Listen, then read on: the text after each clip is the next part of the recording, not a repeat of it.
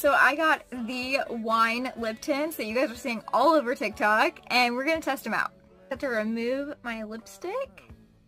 So the one I want to test out today is the orange one. It's Chardonnay Orange. Okay, but this is so cute. And I love like an orangey red lip. And I think it's going to look so cute with the blue I've got going on. So let's get into it. It opens like this. Ooh. Doesn't really smell like anything. Oh my. Okay, I thought it was going to be like a lot lighter than that. Not so pigmented. Okay, so I went and like kind of wiped it off and this is what we're left with and this is much cuter. What color should I try next?